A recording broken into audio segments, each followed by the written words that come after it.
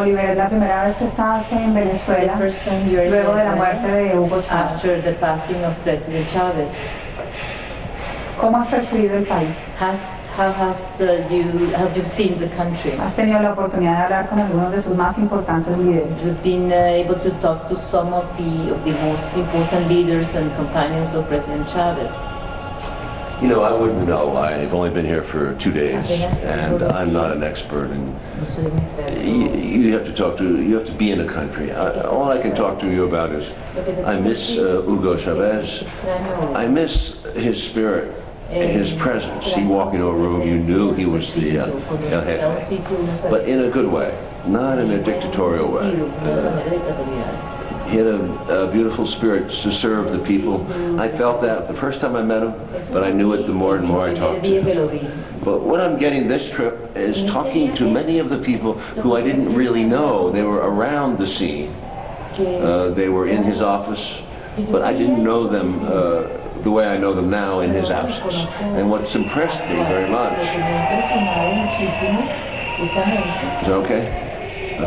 So you go, and what's impressed me very much is that although they all miss him, they are ready, they're carrying on independently as adults. It's as if uh, they were no longer the son or daughter or the children of, they are now Chavez's. Every one of them, to some degree, has expressed the idea that we, we are Chavez, which is a beautiful legacy to leave behind. And, and he should be proud of it, I think. I was worried that when Hugo died, there would be a personality cult, that he was running the government too much, doing everything, and that the people were not ready to take, take control. I think I was wrong, and I, I think only for two days, but talking to people, and I'm very uh, optimistic about uh, uh, President Maduro and Vice President uh, Elias and uh, all the ministries that I've seen, and the young intelligence chief uh, Morales, who was once uh, Hugo's assistant. Amazing story. Good-looking people, strong people. People in the streets look happy. They don't look you know, everyone, life is not easy for anybody eh, in New York City or Paris or here. It's just people bitch, but I don't notice any more bitching than usual. And uh, I think to some degree, some people who probably hated him probably miss him in a way. They do miss him because he was such a presence. Estamos haciendo esta entrevista, teniendo esta conversación en la Cancillería de Venezuela, muy cerca de la Plaza Bolívar, y mientras tú contestabas, había mucha gente haciendo militancia y gritando allí justo en la Plaza Bolívar. Es un poco de lo que se vive en, en este país. La gente sale a hacer política a, a cada hora, a cada momento, en cada lugar. ¿Cómo tú conociste a, a Chávez, un hombre que vivía haciendo política? ¿Cómo, cómo lo, lo encontraste? ¿Cómo se cruzó?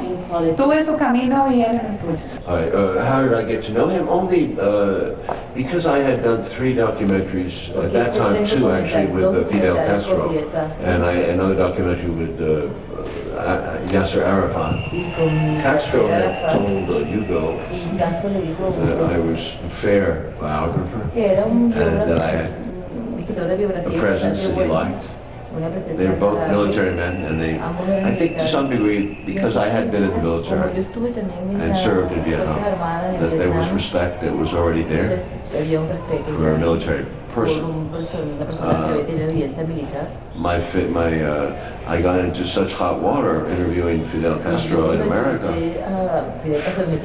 that it affected my career to some degree. That was the fault of Fernando Guia and uh, Mad Max, but you know, anyway, I was trying to survive those flaws. But my career did take a hit for uh, being uh, involved with Castro. And some people saw me as, you know, uh, communist. But uh, so when we came here, uh, we came here originally to uh, be a part of the hostage rescue mission in Colombia with the Red Cross and Nestor Kirchner, uh, several diplomats, and myself uh, went to the Colombian border. We met with Hugo up here, and he was orchestrating the release from FARC of Colombian hostages, which failed. It was aborted at the last second. And I got to know him. And we came back afterward and we shot a uh, south of the border. Now, that was intended to be about all the presidents, changes in South America after 2000. And Hugo was the anchor. and gave us not only a great interview, because he's a lovely, he's a great interviewer, but he gave us access to the seven other presidents. Uh, and with his blessing, uh, we were able quickly to do a road trip around the continent. and gather together the, the feelings of a new generation of leaders who were uh, willing to go out, to go out, to go at it without the United States, hopefully without the United States. Independent. A propósito de Estados Unidos y de Chávez, ¿tuvo algo que ver esa relación eh, suya con Hugo Chávez para pensar en hacer esta serie sobre la verdadera historia de Estados Unidos? No question that uh, we came back uh, and to open the movie in 2008. And somewhere in there, I had talked to him about my overall plan to make a big story about the United States, uh, the untold history. It was called Secret History back then. Uh, my motivation was as a man of well, almost, uh, what was it, 60 years old, almost, that I had seen after two, eight years of George Bush in 2008. Uh, I think Hugo and I agreed that he was a terrible president. Uh, Hugo talked about the smell of sulfur at the uh, and I thought he was very witty. But my feelings about Bush is that he damaged the United States severely. But I didn't want to make a documentary about Bush. I wanted to understand where Bush was Bush an aberration or was he a continuation of a pattern, albeit exaggerated? So with my uh, historian uh, friend of, who's been teaching for 30 years at American University, Peter Kuznick, who's also the director of the Nuclear Studies Institute at American University, expert in nuclear affairs. We went at it, going back in the American century to 1898 and from 1898 to 2013, we did a full five years. Uh, it was a massive project. And we were looking for where America became this international uh, global security that it's become. Castro had pointed to it to me in 2001, too. And again, uh, Mr. Chavez uh, pointed it out repeatedly in his. But uh, we were looking at not just Latin America, really at the world. And we find that after World War II especially, when we dropped those two atomic bombs on Japan, which were unnecessary, and we go to great lengths to show you, the audience, that it was unnecessary. It was not militarily necessary.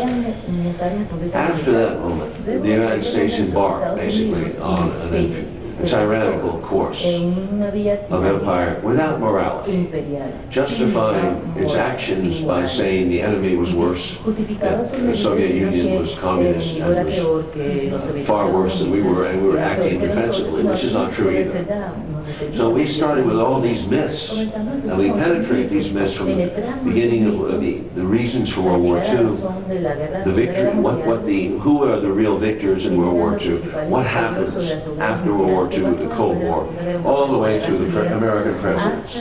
Under Eisenhower in the 1950s, supposedly a very benign period in American, very rich period in American history, we find many of the abuses, many of the abuses of third world countries beginning.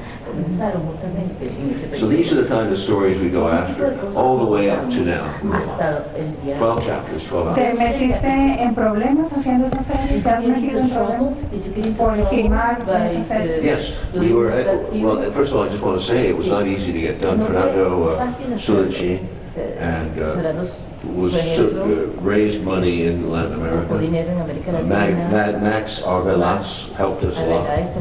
These two people were, were our angels. Uh, so it was Latin finance to a large degree, although we got uh, front, uh, advance, advances from Showtime in American cable company, and Fremantle, England, sales company. Showtime is independent cable, but it was very bold of them to, to do this because most of American television would not normally take the show. It's too controversial. And frankly, it's too critical. Most of the American narrative that we have in school history and in television and in commercials generally has to be pro-American. Has to be nationalist.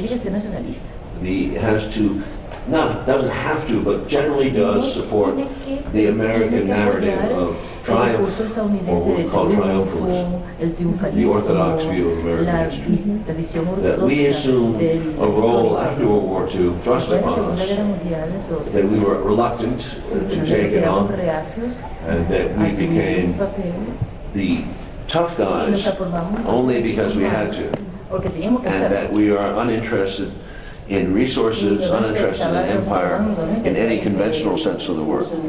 They were interested in liberty, peace, freedom for all, and a world that we can beneficently control without it becoming apparent how ugly it can get when we when we push the buttons. ¿Te sentiste bien de hacer esa serie? Did you feel happy doing that series? ¿Satisfecho como hombre? Listen, it was the, I, I have to tell you, it was the most difficult thing I've ever done in film. Uh, I we had to. Uh, we had to break down 100 and, uh, 120 years into these sections. Very difficult uh, rewriting. Uh, first of all, we, we, we, we branched out, and uh, Peter and his 10 graduate students Eh, did a book, estudiantes que hicieron un big book, 750 pages, because we knew we were in so deep, we had to get some substantiation. We had to give details. Tenemos que tener detalles para And everything was fact-checked repeatedly, everything, including my scripts. which I rewrote que yo reescribí with Peter con and Peter, rewrote lo reescribí many times. muchas veces para ser muy preciso desde el punto de vista histórico. And the film, the archive film, which is collected by Rob Wilson from around the world, uh, I think the film is cut in a way that you don't see most documentaries are cut. It's cut more like a movie. que parece una It has similarities to JFK, the section where uh, we, we, we show the documentary section of mostramos la sección JFK. It has similarities to that style. Very interesting, cross-cutting, fast, directed to a younger audience. It moves fast, but it's a, it's a documentary series that is really worth seeing again because there's so much information in veces porque hay there that it's too much sometimes for the human brain. demasiado para que uno pueda And I know uh, some people have benefited from a second viewing.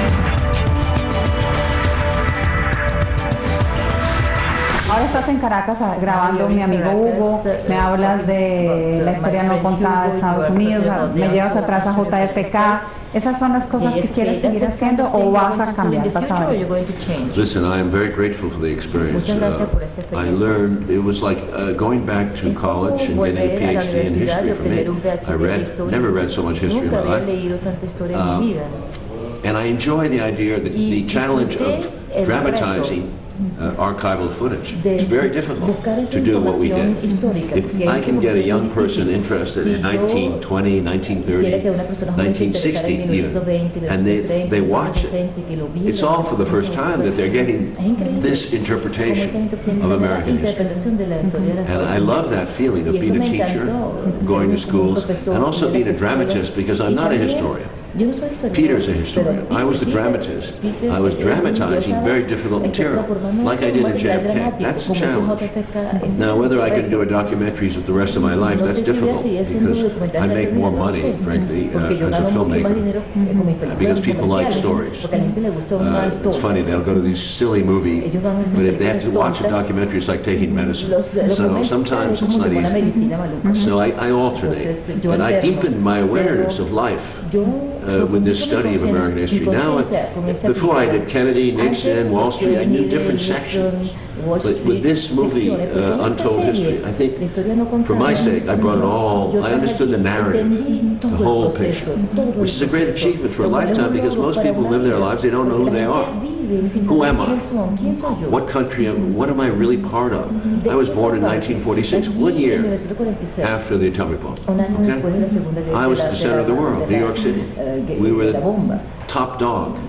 We always did the right thing. Nueva York, siempre hacíamos lo We were good guys. The Russians Russians were going to take over the world. Los rusos eran malucos, I grew up with that narrative, and I went to Vietnam on that basis. Fui a Vietnam partiendo de My father was conservative. papá era un conservador. My father was Republican. papá era republicano. He hated Kennedy. He hated Castro. He would have hated Chavez. I mean, he was a Republican on Wall Street. Era un republicano de Wall Look where I am now. mira quién soy yo ahorita. Uh, that is a world. That is a journey, Ese es, es un viaje. and it's a journey which has at times been very painful. veces ha sido dolorosa. But I think that's part of what life is. parte de lo It's que es la to take you Es from where you were born. llevarte de donde naciste to a completely different place. hasta un nivel Now, perhaps at the end I'll revert to being a conservative, voy a transformarme en un and uh, I will. I will go take my blessings before the good, good Lord voy a ir al and Señor para que me uh, take bendiga absolution and die que like me that, I hope. Just me joking. I think I'll always have a heart rebellious. Yeah. I think I'll be always a rebel siempre voy a ser rebelde. Siempre Yeah, voy a ser like, uh, rebelde. like Hugo. I think I, Como Hugo's Hugo. spirit is in Ese es me. el espíritu de Hugo que está en mí. Pues. Eh, me contabas que habías tenido problemas con este trabajo. Relátame una puerta que se haya cerrado, de pronto un amigo que te dijo no estoy de acuerdo con que hagas estas cosas, algo que haya sido significativo en ese sentido. Well, all I can tell you is career-wise, you know, I mean, I Después de was la carrera, doing the mi carrera, Castro and the trabajar Chavez con uh, south of the Castro, border. con Uh, made Chávez, many con enemies I didn't el know sur I de la had. frontera me hizo People enemigos que yo thought no, that I no was sabía que tenía. anti-American. Gente que me decía que era When I antiamericano, did por this, ejemplo. eh, Cuando yo after- hice esto, It's it was it's known in the it's respected as film by people who understand película, film. la gente conoce But I have to say that people have an easy concept of me as la gente que anti-American. tenía un concepto muy And that hurts que yo era because they don't want to work with you. antiestadounidense. Y eso duele. They don't offer you the scripts that you, you, you sometimes don't have friends a at veces uno no tiene studios, for example. You know. amigos. You know, you offend people with, who are interested in making money. que querías que quiere want the American empire to quieren que el continue. They want it to prosper. It's like people on Wall Street. They're not gente de Wall interested in criticism of the empire. que se critique el imperio, pues. And uh, they don't want to confront that. No quieren confrontar eso. So it takes a certain kind of conscience that has to be more evolved, I think, and not only thinking about your own self-interest. to care. personal. So, you know, in that regard, it's like I disappeared for five years to make this movie. I'm not really, it's not a movie and it's a No es una documentary on television. Documental en- So Pero it's bueno. like I'm starting over again. I mean, comenzar de cero, people pues. have forgotten me. me olvidado They don't know, prácticamente. they don't quite remember me. Ya no me Which is okay. tanto. It's bien. like I have to start again, Claro, like tengo que comenzar de Hugo would feel that way, you know. You, you have to win the next election, Hay you have to do it again. elección, hay que comenzar desde cero. So that's a pain in the ass Eso es una sometimes, ladilla, not to have así. some of that momentum. Ese momento. Y Also, Fernando has really done a lot to make my fucking Fernández career. también ha hecho mucho para destruir mi carrera. Fernando es eh, su, su productor que además está aquí Fernando con, es con el nosotros producer who is para the- contarle a la gente que está viendo la So entrevista. people Oh, know sorry. who he is. Eh, y, y a propósito de, de momentos, As regarding- ¿cuándo nace mi amigo Hugo? When my friend Tras la muerte de Hugo was Chávez, born, after días his después, deceased, en ese instante en el que conociste la noticia, when you dijiste learned tengo que about hacer his algo passing, sobre you Hugo said, "I Chávez, need to do something particularmente about Hugo sobre Chávez in particular. When did was uh, was this born?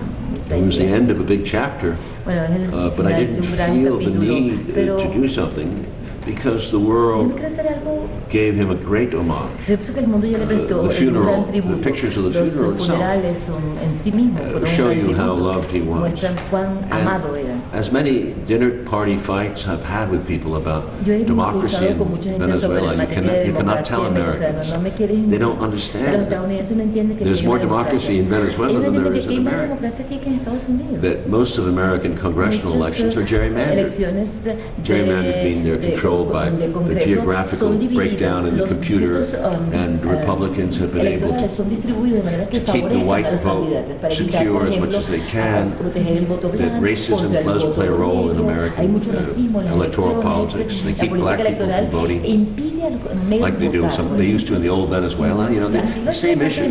And you have better electoral Ustedes tienen un uh, computerization than we do in the United States. As far as I've heard, you have a paper ballot, you keep a paper ballot, tienen un registro en papel. as well as electoral. We don't. Eléctrico. So I, I have uh, little faith in the electoral process alone. I think there's a shift of 5% up to 5, maybe 10%. Entonces, So it's- it's corrupt, very corrupt. que And money está in politics in the US la- is enormous. dinero en la, en la- en- en la política estadounidense es un asco. Uh, what was your question? I'm sorry, I got lost. Pero me perdí con su pregunta. Sobre Hugo Chávez y el momento en que habías decidido hacer este material, mi amigo Hugo. Yeah, how do you- To do something about uh, Oh, yeah, so, Chavez, uh, my friend Hugo. I'm sorry, I got died. off track there. Okay. No, it was uh, it was Fernando's No, idea. la idea fue de Uh, Fernando. to uh, Fernando being out to really wreck my career. Porque wanted- porque wanted él me to- Wanted me to go back to Venezuela ay, ay, ay, and do uh, a little a, a smaller film called My Friend Hugo. una peliculita que se llama Which I think is a nice title. eh, And Hugo, pues, un I'm hoping uh, from these interviews to patch que con esta together a sense of love, un sense of missing a comrade, de, de cómo uh, lo Hugo, from all these extrañan, people, del including Hugo myself, camarada. filmmaker, Yo who will be in también, the picture. como, como His director, style. voy a estar también en esa película mostrando mi cariño. Not very ambitious, but No it's, muy it's a ambicioso, nice tribute. pero me parece que es un And it's tributo Fernando's idea, not y esa es la mine. idea de Fernando, no mía. And Max too. Great Mad Max is also Y, involved. y, el, y el loco Max que también me ayuda pues.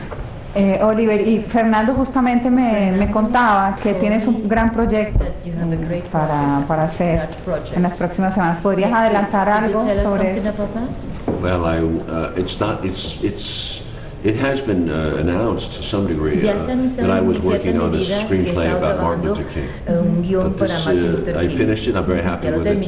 Many people love it. la gente le But this has political issues Pero eso, ahí, hay, involved. ahí hay temas políticos And uh, you have to be united to make this movie. I don't. I've always knew it was a difficult project to make. I was involved in the proyectos project míos siempre son to make. King's Life in Por ejemplo, Yo 1995. quise hacer en el 85 la vida And uh, it didn't happen then, and I'm not sure it's going to happen now. tampoco sé si se va a poder hacer ahorita, But I tried my best. Pero ah, voy a hacer lo mejor posible para que así sea. Muchas gracias. Thank you so much. Thank you.